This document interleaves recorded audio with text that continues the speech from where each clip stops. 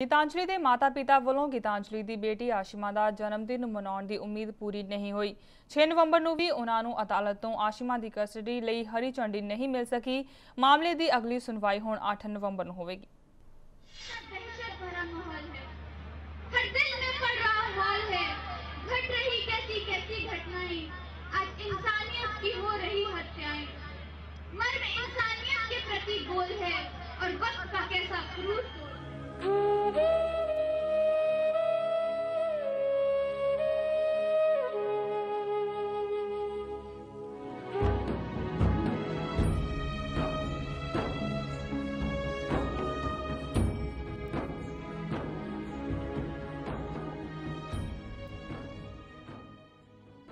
ਗੀਤਾਂਜਲੀ ਦੀ ਮਾਤਾ-ਪਿਤਾ ਦੇ ਘਰ ਤੋਂ ਗੀਤਾਂਜਲੀ ਦੀ ਮੌਤ ਦੇ ਗਮ ਦਾ ਸੰਨਾਟਾ ਹਾਲੇ ਮਿਟਿਆ ਨਹੀਂ ਹੈ।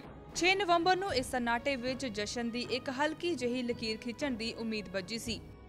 6 ਨਵੰਬਰ ਨੂੰ ਗੀਤਾਂਜਲੀ ਦੀ ਵੱਡੀ ਬੇਟੀ ਆਸ਼ਿਮਾ ਦਾ ਪੰਜਵਾਂ ਜਨਮ ਦਿਨ ਸੀ। ਗੀਤਾਂਜਲੀ ਦੇ ਮਾਤਾ-ਪਿਤਾ ਅਤੇ ਉਸ ਦੇ ਭਰਾ ਦੇ ਬੱਚਿਆਂ ਨੇ ਆਸ਼ਿਮਾ ਦਾ ਜਨਮ ਦਿਨ ਘਰ ਵਿੱਚ ਮਨਾਉਣ ਦਾ ਸੁਪਨਾ ਦੇਖਿਆ ਸੀ। ਕਿਉਂਕਿ ਗੀਤਾਂਜਲੀ ਦੀਆਂ ਦੋਵੇਂ ਬੇਟੀਆਂ ਆਪਣੇ ਪਿਤਾ ਦੇ ਘਰ ਨੇ ਲਿਹਾਜ਼ਾ ਆਸ਼ਿਮਾ ਨੂੰ ਘਰ ਲਿਆਉਣ ਲਈ ਨਾਨਾ ਨਾਨੀ ਨੇ ਅਦਾਲਤ ਵਿੱਚ ਅਰਜ਼ੀ ਦੇ ਕੇ ਉਸ ਦੀ 3 ਦਿਨ ਦੀ ਕਸਟਡੀ ਦੀ ਮੰਗ ਕੀਤੀ ਸੀ जो मेरी दो नाती हैं उनमें जो बड़ी लड़की है उसका आज बर्थडे डेट है हमारा दिवाली हमने नहीं मनाई दिवाली के दिन चांस की बात है लड़की की मैरिज एनिवर्सरी थी हमने कोई शहर में नहीं कह सकता हम कहीं दिवाली मनाने नहीं गए कितने अरमान होंगे किसके लिए ब- लड़कियों के लिए तो है ਬਦਕਿਸਮਤੀ ਨਾਲ ਪਰਿਵਾਰ ਦੀ ਇਹ ਉਮੀਦ ਪੂਰੀ ਨਹੀਂ ਹੋ ਪਾਈ ਨੋਟਿਸ ਸਰਵ ਨਾ ਹੋ ਸਕਣ ਕਾਰਨ ਵਿਰੋਧੀ ਧਿਰ ਅਦਾਲਤ ਵਿੱਚ ਪੇਸ਼ ਨਹੀਂ ਹੋ ਸਕੀ ਲਿਹਾਜ਼ਾ ਅਦਾਲਤ ਨੇ ਇਸ ਮਾਮਲੇ ਦੀ ਸੁਣਵਾਈ ਹੁਣ 8 ਨਵੰਬਰ ਨੂੰ ਤੈਅ ਕੀਤੀ ਹੈ ਯਾਨੀ 6 ਨਵੰਬਰ ਨੂੰ ਗੀਤਾਂਜਲੀ ਦੇ ਮਾਤਾ-ਪਿਤਾ ਨੇ ਘਰ ਵਿੱਚ ਇੱਕ ਹਲਕੇ ਜਿਹੇ ਜਸ਼ਨ ਦੀ ਜੋ ਉਮੀਦ ਕੀਤੀ ਸੀ ਉਹ ਦਿਲ ਦੀ ਦਿਲ ਵਿੱਚ ਹੀ ਰਹਿ ਗਈ ਹਾਲਾਂਕਿ ਗੀਤਾਂਜਲੀ ਦੇ ਪਿਤਾ ਦੇ ਘਰ ਨੂੰ ਇਸ ਕੜੀ ਦਾ ਇੰਤਜ਼ਾਰ ਕਿੰਨੀ ਬੇਸਬਰੀ ਨਾਲ ਸੀ, ਇਸ ਦਾ ਅੰਦਾਜ਼ਾ ਇਹ ਦੇਖ ਕੇ ਲਗਾਇਆ ਜਾ ਸਕਦਾ ਹੈ ਕਿ ਗੀਤਾਂਜਲੀ ਦੇ ਭਰਾ ਦੇ ਬੱਚੇ ਵੀ 6 ਨਵੰਬਰ ਨੂੰ ਸਵੇਰੇ ਅਦਾਲਤ ਦੇ ਦਰਵਾਜ਼ੇ ਤੇ ਹੀ ਬੈਠੇ ਅਦਾਲਤ ਤੋਂ ਉਮੀਦ ਪੂਰੀ ਹੋਣ ਦਾ ਇੰਤਜ਼ਾਰ ਕਰ ਰਹੇ ਸਨ। सुबह से ही वेट कर रहे थे कि जो भी फैसला रहेगा, वो हमारे हक में होगा। क्योंकि आज आसमा का जन्मदिन है, आज वो फाइव इयर्स की हो जाएगी। सब बच्चे एक्साइटेड थे, कुछ बच्चे स्कूल भी नहीं गए इसकी वजह से कि आज जन्मदिन मनाएँगे। तो पूरा दिन हमारा कोर्ट में निकल गया बट कोई वे आउट नहीं निकला।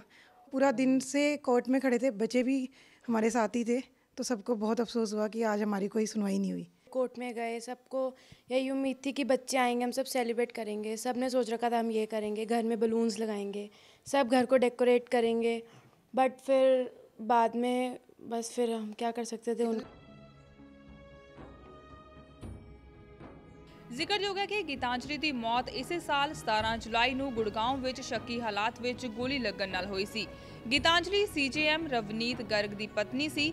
ਗੀਤਾਂਜਲੀ ਦੇ ਮਾਤਾ-ਪਿਤਾ ਨੇ ਗੀਤਾਂਜਲੀ ਦੀ ਮੌਤ ਦਾ ਜ਼ਿੰਮੇਵਾਰ ਸੀਜੀਐਮ ਰਵਨੀਤ ਨੂੰ ਦੱਸ ਕੇ ਸ਼ਿਕਾਇਤ ਦਰਜ ਕਰਵਾਈ ਹੋਈ ਹੈ। ਮਾਮਲੇ ਦੀ ਜਾਂਚ ਵਿੱਚ ਸੀਬੀਆਈ ਜੁਟੀ ਹੋਈ ਹੈ। ਫਿਲਹਾਲ ਪਰਿਵਾਰ ਨੂੰ ਉਮੀਦ ਹੈ ਕਿ ਇੱਕ ਨਾ ਇੱਕ ਦਿਨ ਉਹਨਾਂ ਦੀ ਆਪਣੀਆਂ ਦੋਤੀਆਂ ਨਾਲ ਮੁਲਾਕਾਤ ਜ਼ਰੂਰ ਹੋਵੇਗੀ। ਯਾਨੀ ਇੱਕ ਉਮੀਦ ਹਾਲੇ ਵੀ ਜ਼ਿੰਦਾ ਹੈ। ਜਦ ਜਨਮ ਦਿਨ ਦੇ ਬਹਾਨੇ ਘਰ ਵਿੱਚ ਪਸਰੇ ਗਮ ਦੇ ਸਨਾਟੇ ਨੂੰ ਕੁਝ ਘੱਟ ਕਰਨ ਦੀ ਉਮੀਦ 6 ਨਵੰਬਰ ਦਾ ਸੂਰਜ ਛੁਪਣ ਦੇ ਨਾਲ-ਨਾਲ ਦਮ ਤੋੜ ਗਈ। ਪੰਚਕੂਲਾ ਤੋਂ ਕੈਮਰਾਮੈਨ ਰਾਕੇਸ਼ ਠਾਕੁਰ ਅਤੇ ਪੱਤਰਕਾਰ ਕੁਲਬੀਰ ਦੀਵਾਨ ਨਾਲ ਕੌਮੀ ਮਿਨਹਾਸ ਡੇਆ ਨਾਈਟ ਨਿਊਜ਼। ਖਬਰਾਂ ਦੀ ਦੁਨੀਆ ਵਿੱਚ ਆਓ। ਸਾਡੇ ਨਾਲ ਕਦੇ ਵੀ ਤੇ ਕਿਤੋਂ ਵੀ ਜੁੜੋ। ਆਪਾਂ ਮਿਲਾਂਗੇ ਫੇਸਬੁੱਕ ਤੇ। ਅਸੀਂ ਦਿਖਾਂਗੇ YouTube ਤੇ। ਸਾਨੂੰ ਫੋਲੋ ਕਰੋ ਟਵਿੱਟਰ ਤੇ। ਖਬਰਾਂ ਨਾਲ ਜੁੜੇ ਰਹੋ ਦਿਨ ਰਾਤ।